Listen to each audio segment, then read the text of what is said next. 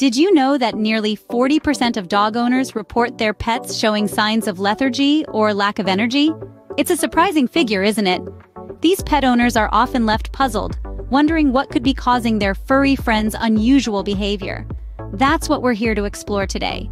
The energy levels of our dogs can be affected by various factors, and understanding these can help us ensure their well-being. So let's dive into the top five reasons why your dog might be lethargic. Coming in at number one, lack of exercise. When our canine companions don't get enough physical activity, they may become lethargic. It's like when we skip our morning jog. We just don't feel as perky, right? Well, dogs are the same. As renowned pet expert Dr. Furball says, a dog without exercise is like a fish without water. So make sure your furry friend gets plenty of exercise to keep their energy levels up. Our second reason is poor diet. You see, just like us humans, our canine companions thrive on balanced meals. It's not just about filling their bowls with any kind of food. The quality, quantity, and variety of nutrients all play a significant role in their overall health and energy levels. Think about it this way. If you constantly ate fast food, how would you feel? Probably sluggish, right? The same goes for dogs. When their diet lacks essential nutrients, it can lead to lethargy. According to renowned pet nutrition expert Dr. Jane Bix, a balanced diet for dogs should contain a mix of proteins, carbohydrates, fats, vitamins, and minerals. Commercial dog foods often fall short in providing these in the right proportions, leading to deficiencies that can result in low energy. So if your fur baby seems tired all the time, it might be worth examining their diet. Remember, a healthy diet equals a healthy, energetic dog. The third reason for lethargy in dogs is something we all experience, aging. Like humans, dogs aren't immune to the effects of time. As they grow older, their energy levels can naturally decrease. This isn't about them being lazy, it's just a part of the natural progression of life. Dr. Jane Goodall, a renowned animal aging expert, once said, As animals age, their vitality may diminish, but their spirit often remains vibrant. This quote beautifully encapsulates the journey our canine companions go through as they age. They may not chase the ball as vigorously or be as quick to jump on a walk as they once were, but that doesn't mean they've lost their love for life.